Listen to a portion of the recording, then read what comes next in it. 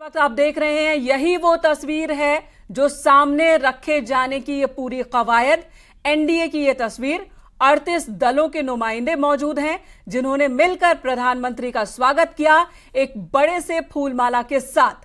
और यहाँ पर आप देखिए, चिराग पासवान को गले लगाते हुए प्रधानमंत्री नज़र आ रहे हैं। चिराग पासवान, जिन्होंने कई बार कहा कि वो तो हनुमान है, और यह भी कहा गया कि बिहार में जो लास्ट इलेक्शन हुआ था, उस दौरान नीतीश कुमार की पार्टी को बहुत नुकसान चिराग पासवान की वजह से हुआ था और यही वजह है कि नीतीश कुमार ने चिराग पासवान से दूरी बनाई और गठबंधन की वजह से बीजेपी को भी चिराग पासवान से दूरी बनानी पड़ी। लेकिन यह भरोसा हमेशा था चिराग पासवान को कि आने वाले दिनों में वो एनडीए का हिस्सा होंगे और उन्हें जिस जगह की ज़रूरत है, वो जगह भी एनडीए की ओर से ही उन्हें मिलेगी। और यहाँ इन तस्वीरों में भी यही नज़र आ रहा है। तो एनडीए के ये अड़तीस राजनीतिक दलों के नुमाइंदे आपको इन तस्वीरों में नज़र आ रहे हैं।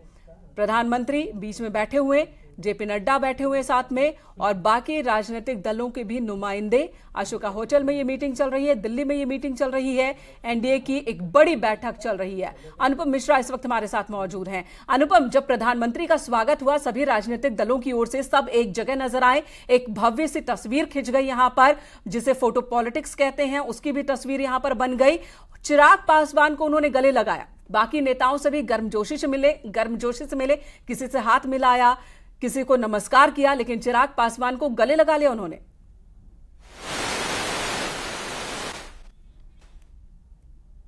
बैठक है क्योंकि देखिए बात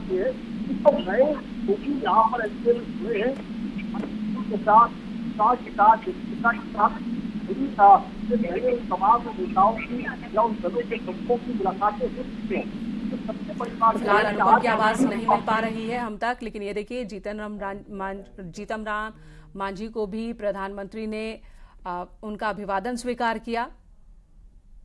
तो तस्वीरें आपको दिखा रहे हैं एक्सक्लूसिव तस्वीरें आप देखिए, तमाम विपक्षी पार्टियाँ जो कल तक, हम देखते थे कि बीजेपी पर निशाना भी साधती थी, वो भी नेता अब बीजेपी का साथ देते हुए नज़र आ रहे हैं। ऐसे में एक बड़ा झटका यहाँ पर कांग्रेस पार्टी के लिए कहा जा सकता है और जो बाकी विपक्षी दल हैं, वो भी एक बड़े झटके में कह सकते हैं। ऐसे में तमाम जो राजनीतिक दल हैं, उनको आप देखिए, प्रधानमंत्री नरेंद्र मोदी का स्वागत करते हुए गर्मजोशी के साथ में पीएम का स्वागत किया गया और ये तस्वीरें मीटिंग से पहले की, कुछ ही देर में मीटिंग की शुरुआत हो जाएगी और उसमें ये रणनीति बनाई जाएगी कि 2024 का चुनाव कैसे जीतना है? क्या आगे की रणनीति होगी?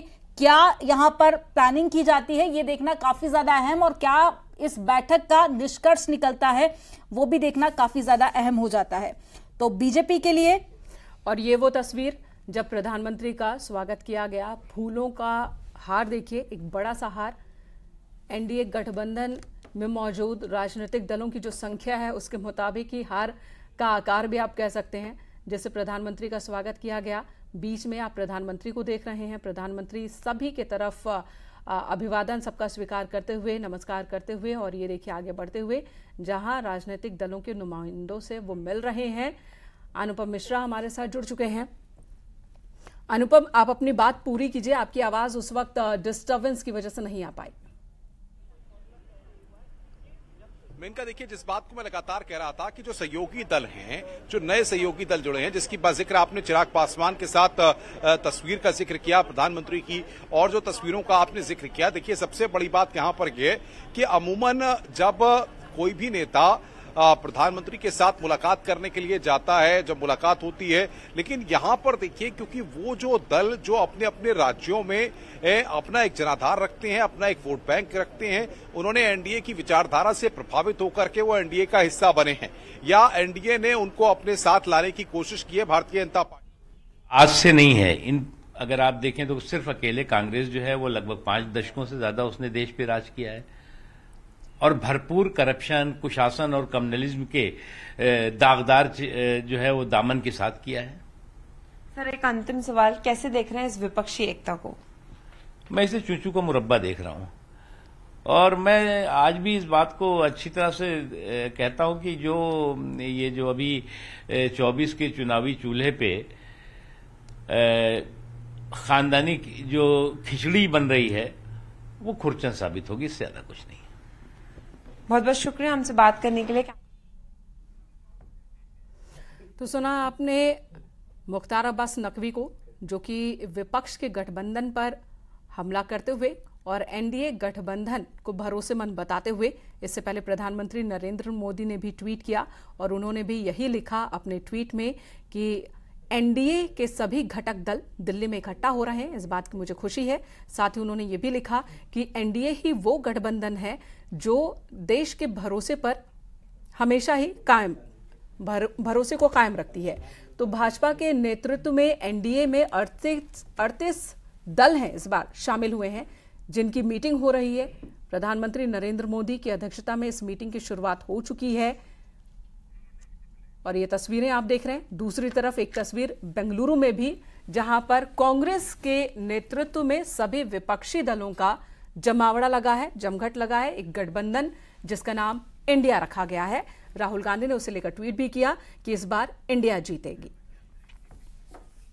तो वाराणसी पहुँचे युवा चेतना प्रमुख रोहित कुमार सिंह ने विपक्षी एकता पर निशाना साधा। रोहित कुमार सिंह ने कहा कि कांग्रेस भ्रष्टाचार की जननी है और देश की जनता इनको मुंहतोड़ जवाब देगी। देश में सिर्फ़ एक लहर है, वो है मोदी लहर।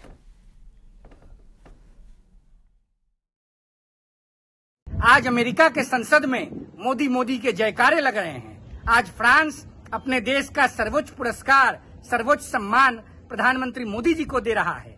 आज देश और दुनिया में भारत माता का झंडा बड़े गर्व और फक्र के साथ लहर रहा है। हिंदुस्तान विश्व गुरु बनने की ओर बढ़ चुका है और देश के अंदर चंद परिवारवादी राजनेता, भ्रष्टाचार के समुद्र में डूबने वाले राजनेता, अपनी खोई हुई राजनीतिक ज़मीन को बचाने के लिए एक हो रहे हैं। तो रोहित सिंह जिन्होंने, जिनको सुना आपने, वो ये कह रहे हैं कि आज देश में सिर्फ़ एक ही लहर है, मोदी लहर है, और दूसरी तरफ़ ये तस्वीर हम आपको बेंगलुरु की दिखा रहे हैं, जहाँ पर कांग्रेस की अंतरिम अध्यक्षता, सोनिया गांधी को आप देख पा रहे हैं, ममता बनर्जी, पश्चिम बंगाल के मुख्यमंत्री, राहुल गांधी कांग्रेस के पूर्व सांसद बेंगलुरु में इकट्ठा हुए हैं। इंडिया नाम रखा गया है विपक्षी दलों के गठबंधन का। तो दूसरी तरफ़ दिल्ली में एनडीए की मीटिंग हो रही है। प्रधानमंत्री खुद इस मीटिंग में मौजूद हैं। और एनडीए के सभी घटक दल के नेता भी मौजूद हैं इस मीटिंग में।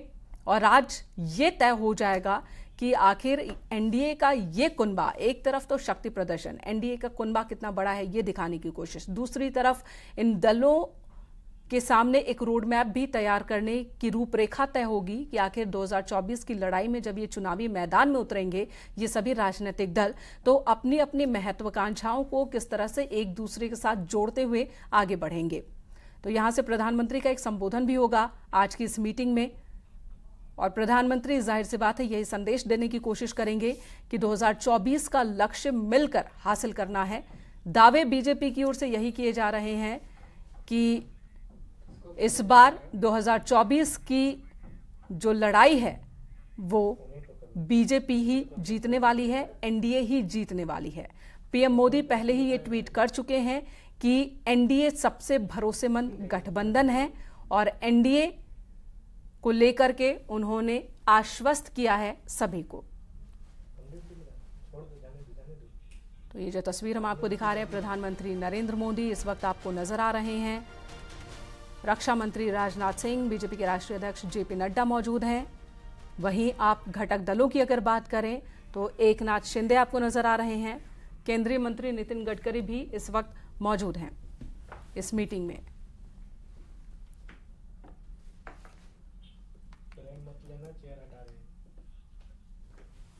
लोक जनशक्ति पार्टी के दोनों गुट के नुमाइंदे यहाँ पर हैं। एक तरफ़ चिराग पासवान, जिन्होंने बैठक में जब वो शामिल होने के लिए यहाँ पहुँचे तो ये कहा कि उनकी बातचीत लंबे वक्त से चल रही थी। बीजेपी के साथ ये बातचीत चल रही थी। एक रूपरेखा पर काम चल रहा था। वो रूपरेखा तैयार हो जाने के बाद अब वो इस मीटिंग में शामिल होने के लिए आए हैं। तो दूसरी तरफ़ उनके चाचा भी इस मीटिंग में मौजूद हैं। यानी कि दोनों दलों को एक करने की शर्त रखी गई थी बीजेपी की ओर से। कि 2024 के चुनाव से पहले दोनों दल एक साथ आ जाएँ और उसके बाद एनडीए का हिस्सा बने। तो लगभग वो बात और वो शर्त पूरी होती हुई दिख रही है। हालाँकि तस्वीर अभी पूरी तरह से साफ़ नहीं, लेकिन आज की मीटिंग में चिराग पासवान का यहाँ मौजूद होना, उनके चाचा का मौजूद होना, ये बता रहा है कि बहुत हद तक बीजेपी अपनी बातों को मनवाने में कामयाब हुई है। अड़तीस पार्टियों के हुंकार दिल्ली में तो वहीं 26 राजनीतिक दल एक साथ बेंगलुरु में कर रहे हैं मीटिंग।